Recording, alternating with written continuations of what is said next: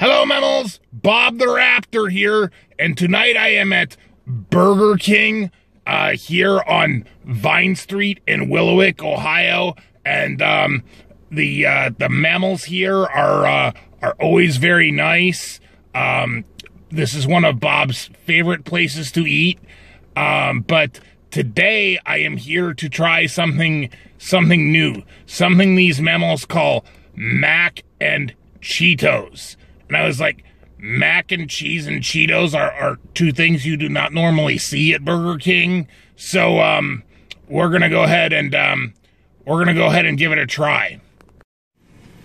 Thanks for choosing Burger King. My name is Ray. I'm happy today. Uh, hi, I want to get uh, a uh, mac and Cheetos, All right. and uh, that that that that should be it. 249. Second one, please. All right, thank you very much. Thing that is very nice, these mammals get to prey really, really fast.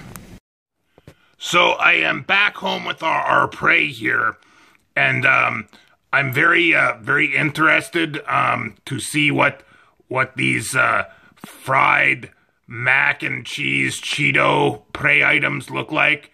Um, so, so we're gonna go ahead and dig in. Come here, mac and Cheeto prey. I'm gonna, I'm gonna. You're gonna be a nice, tasty snack. Well, it almost looks like like a like a mozzarella stick or something. Um, I'm gonna take a bite here. Well, you can definitely taste the Cheetos and the breading, but a real winner is that macaroni and cheese center. These are these are just amazing. Oh yeah. Now that was some really tasty prey. Bob really um really likes the uh, the mac and Cheetos.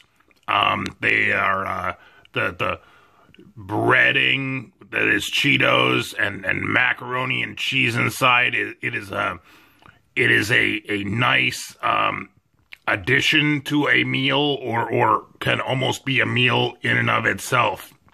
So uh, if you go to to Burger King by you, um, I would definitely suggest giving mac and Cheetos a try. Um, I certainly enjoyed them, and uh, I think that uh, you will too.